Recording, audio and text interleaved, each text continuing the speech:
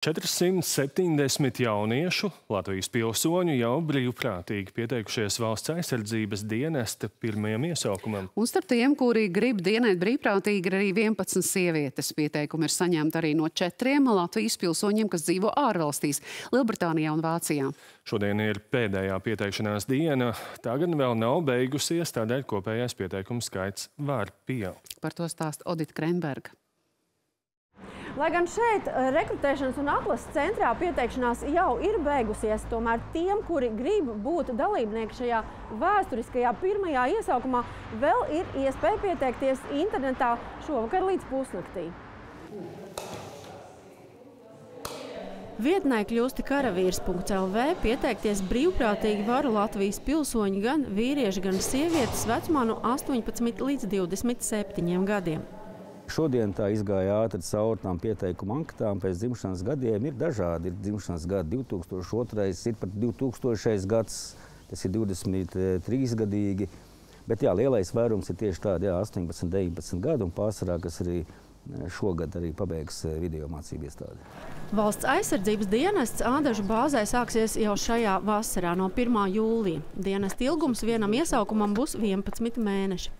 Nu, man ir neliels uztraukums. Es nezinu, kas manī sagaida, protams.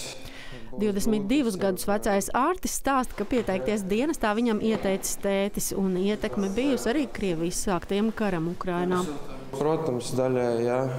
Jo ir eh, tāda atbildība, ka vajag mācīt aizstāvēt valsti, varbūt, eh, ja gadījumā kaut kas notiks arī šeit. Eh, kaut kā tā.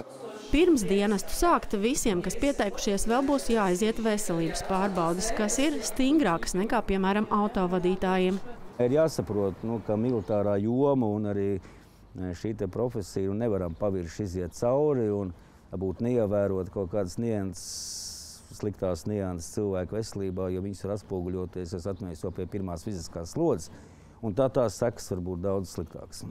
Sākotnēji plāno uzņemt ne vairāk kā 300 jauniešus. Pārējiem tiks piedāvāta iespēja dienēt nākamajā iesaukumā, kas sāksies janvārī. Arī turpmāk varēs pieteikties brīvprātīgi, bet, ja gribētāju nebūs pietiekamā skaitā, tad iesaukumu papildinās ar 18, 19 gadus veciem jauniešiem, ko aizsardzības dienestā iesauks obligātā kārtā.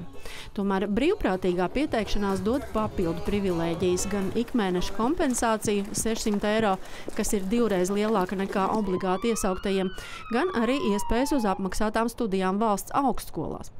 Rekrutēšanas centrā atgādina, ka tiem, kas vēlas, tiek piedāvāts arī profesionālais dienests, uz kuru pieteikšanās ir spēkā joprojām.